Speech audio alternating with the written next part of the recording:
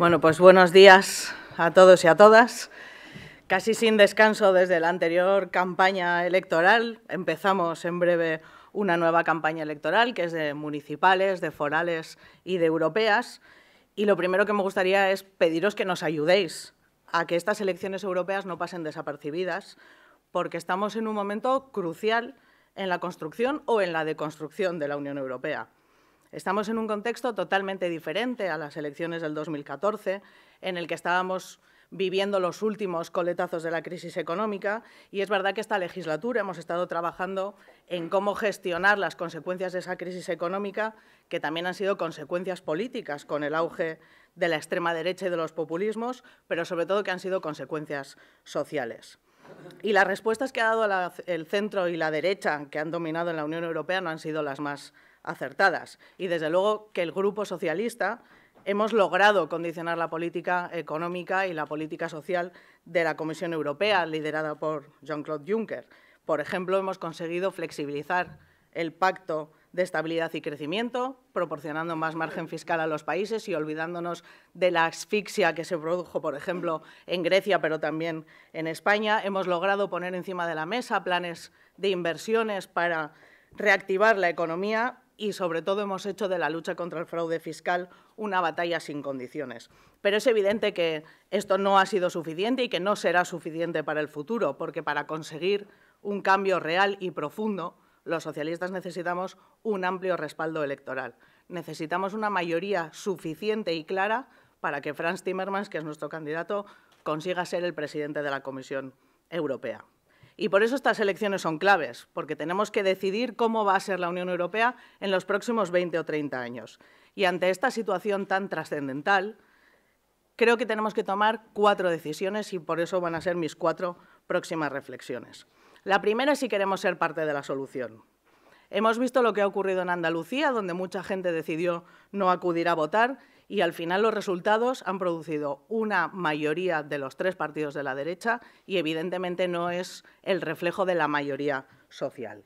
Y en segundo lugar, otro ejemplo muy reciente que tenemos es lo que ocurrió en el Reino Unido con la votación del Brexit. Muchos jóvenes que a priori eran proeuropeos consideraron que no era suficientemente importante acudir a votar y en ese caso otros decidieron por ellos y sobre todo otros decidieron contra ellos. Por lo tanto, no podemos perder la oportunidad de decidir porque en cualquier caso todos y todas vamos a ser responsables de los resultados del 26 de mayo y de lo que vaya a suceder los próximos cinco años. Y la segunda decisión o la segunda reflexión que me gustaría hacer es que tenemos que decidir si queremos decir sí o no a Europa.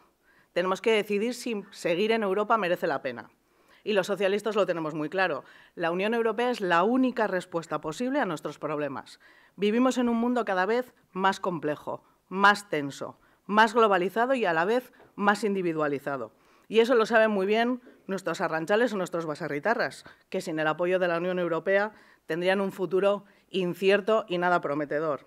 O nuestros jóvenes, que se mueven y pueden estudiar sin trabas y sin fronteras, o los que han podido, por ejemplo, acceder a un primer empleo gracias a las políticas de la Unión Europea con la garantía juvenil.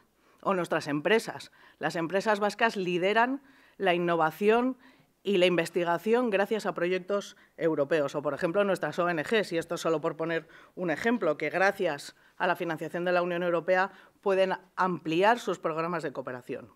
Y por eso esto es muy importante que el 26 de mayo las urnas lancen un mensaje contundente de apoyo al proyecto europeo y también contundente de rechazo a los extremismos y a los nacionalismos. Los socialistas nos comprometemos a trabajar con todos los grupos europeístas para construir una Europa mejor, pero también nos comprometemos a poner un cordón sanitario a la extrema derecha, a la extrema derecha que quiere destruir nuestro proyecto. El Eurobarómetro último decía que el 75% de los ciudadanos creían que pertenecer a la Unión Europea era positivo, pero también decían que el 50% estaba insatisfecho con el rumbo que estaba tomando la Unión Europea. Y eso nos lleva a la tercera decisión, que es qué Europa queremos.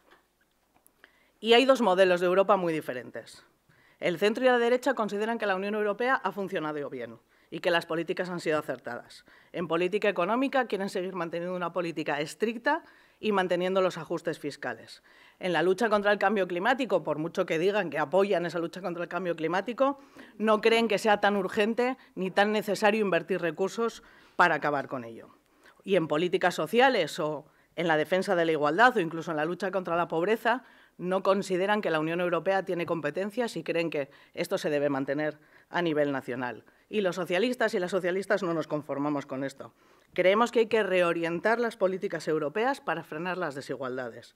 Creemos, por ejemplo, que la declaración de Gothenburg, en la que pusimos en marcha el pilar social, no se puede quedar en una declaración, sino que tenemos que poner leyes encima de la mesa que puedan desarrollar de verdad ese pilar social o, por ejemplo, los Objetivos de Desarrollo Sostenible.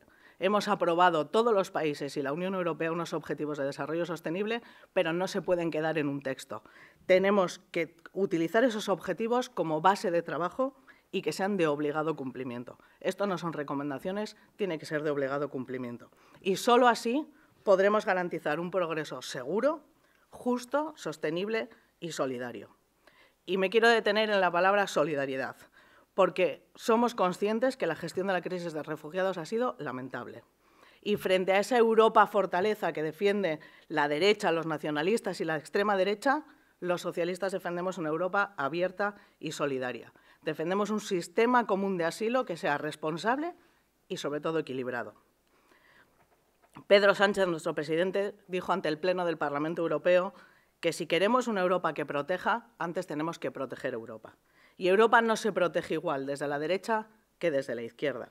Y tampoco se defiende igual desde unos partidos de izquierda que desde otros. Y eso me lleva a la cuarta y última reflexión que os quería trasladar. El Partido Socialista es el único partido que pueda asegurar los cambios necesarios. Somos los únicos que podemos inclinar la balanza hacia políticas progresistas. Porque un informe aprobado o una directiva o un reglamento aprobado hace mucho más por todos nosotros que un tuit exigiendo la paz mundial. Mientras unos se dedican a criticar y a votar sistemáticamente en contra, otros nos dedicamos a poner soluciones encima de la mesa. Por eso somos la izquierda que construye, que lidera, que negocia. Somos los únicos capaces de influir en los contenidos de las leyes. Y os voy a poner un ejemplo. En esta legislatura ha habido 22, 22 comisiones ordinarias, cinco comisiones extraordinarias y dos comisiones de investigación. Se han aprobado 2.134 textos y hemos votado más de 27.000 veces. Esto solo se puede gestionar bien desde un grupo grande. En las elecciones generales, el Partido Socialista ha sido el primer partido, con un apoyo indiscutible. Y eso nos va a proporcionar un presidente más socialista sentado en la mesa del Consejo Europeo y un socialista más en la Comisión Europea. Por eso yo veo estas elecciones como una segunda vuelta. Perdonad, pero tengo un poco de gripe.